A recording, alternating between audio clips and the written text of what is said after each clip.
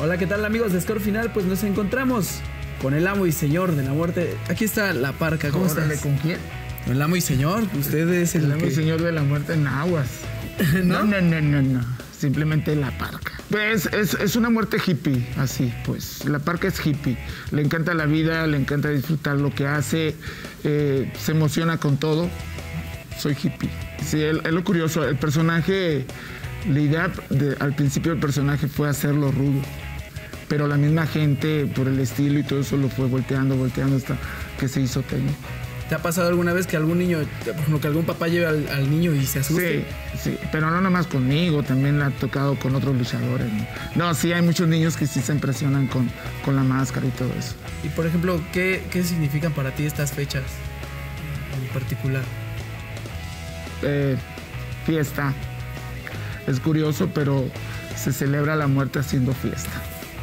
Conviví mucho con ellos, el- aprendí mucho de ellos, más del brazo que estuvo mucho tiempo en AAA. De Abismo era muy impetuoso, como luchador era un luchador muy impetuoso que, que, que lo mismo, él subía, se posicionaba de su personaje.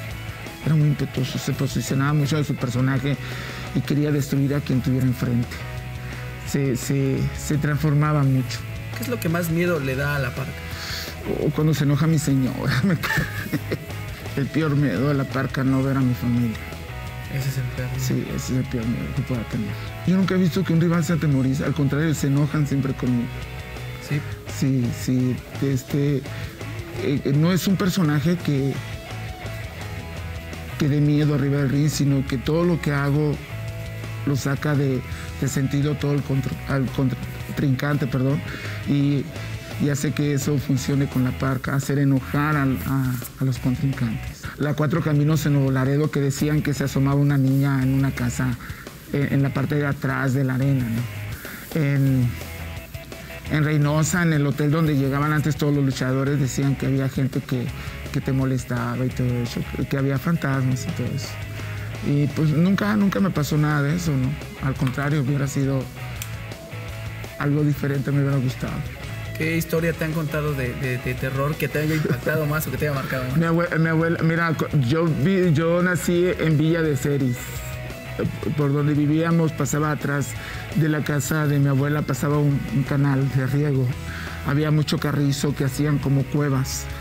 Y había, pues eran lugares muy viejos, ¿no? Casas muy viejas, construcciones muy viejas. Y, y mi abuela nos platicaba de todo.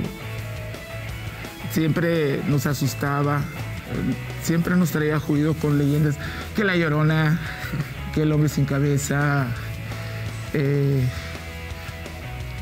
con vampiros. Crecimos con todo eso, ¿no? Pero más con la llorona. Y se prestaba porque pasaba el canal y se oía el ruido de, de- del agua y todo eso. Se la discutía mi abuela con eso. Bueno, pues ahí está, amigos, de Score Final. La parca pues, nos platicó un poquito de su historia.